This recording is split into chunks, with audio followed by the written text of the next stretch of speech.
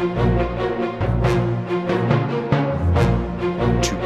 we're in the herd with men's basketball. For the ninth straight year, Bucknell's men's basketball team will be holding its Dirk Sojka's Slam Dunk with Bison Basketball.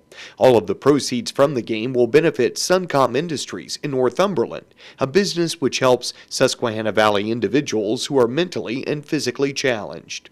Coach Dave Paulsen loves the association with Suncom. What a great cause, the work that the people at Suncom Industry do for the, the people uh, there and uh, just to serve the community. It's always a treat for our guys to be able to get on the court with the people from Suncom and raises a lot of money for a good cause. And anytime that our guys are able to give back, you know, I think they appreciate it. They realize how fortunate they are.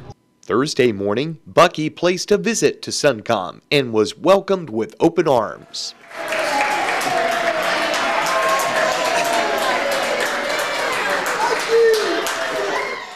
Suncom's Peggy Vitale says the Dirk Sojka event is so very important to their operation. This is one of our events that involves the community at large and involves our individuals. They can participate at various levels, come to the game, buy raffle tickets, sell raffle tickets, buy a t shirt, and it, it generates more money than anything that we do, which keeps us supported, growing, and going, really.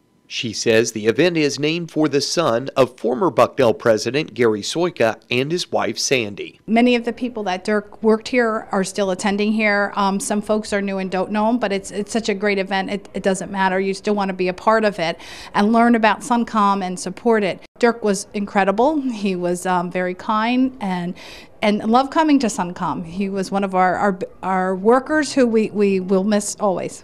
Of course, there's a big basketball game to be played too on Saturday as Bucknell opens Patriot League play against Army. We're excited to get the Patriot League started. Um, we're taking it one game at a time, and uh, Army's a good team. They've had some really good wins this year, and uh, coach has been saying they play really fast, and so we got to get ready to for a little up and down game, but make sure it's played at our tempo. That's the most important thing.